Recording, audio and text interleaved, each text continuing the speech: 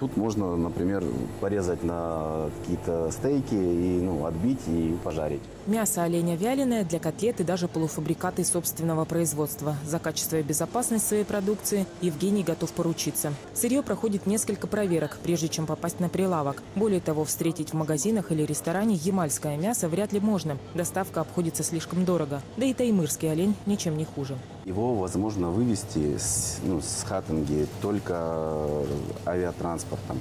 И, ну, то есть, э, как сами понимаете, то есть на авиатранспорте невозможно без э, ну, определенной проверки взять и просто так привезти. Сама доставка очень тяжелая оттуда.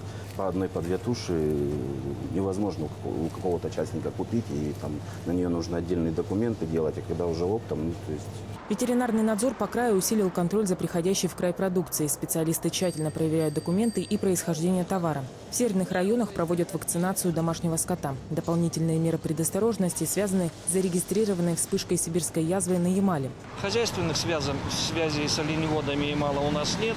Животных мы оттуда не перевозим. Продукция, как правило, тоже сюда не поступает. Вот в крае постоянно проводится профилактика против этого заболевания.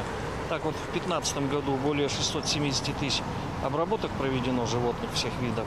Практически в любом регионе страны периодически выявляют очаги сибирской язвы. Но от человека к человеку болезнь не передается. Заразиться можно только употребляя в пищу зараженное мясо и используя шкуры больных животных. Поэтому регулярную вакцинацию обязательно проходят те, кто по роду деятельности может соприкасаться с животным материалом. Ветеринарные работники, работники животноводства, работники по переработке животноводческого сырья – сотрудники лаборатории, которая работает с материалом на проведение данных исследований. Последний случай сибирской язвы у нас в Красноярском крае среди людей зарегистрирован в 2006 году.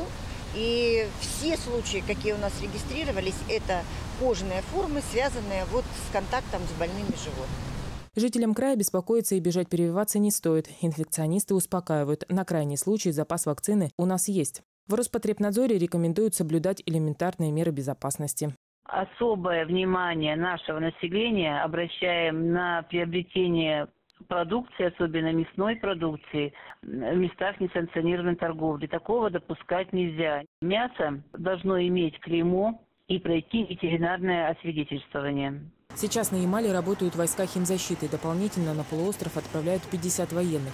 Диагноз «сибирская язва» подтвердился уже у 23 человек. На днях в больнице умер 12-летний мальчик. В районе действует карантин. По данным местных властей, причиной вспышки инфекции стало необычайно теплое для крайнего севера летом. Из-за этого начала таять вечная мерзлота, где споры сибирской язвы могут сохраняться больше ста лет. Завтра красноярские специалисты отправятся на полуостров, чтобы помочь коллегам. Татьяна Потанина, Эдуард Багла и Михаил Масленников. Афонтова новости.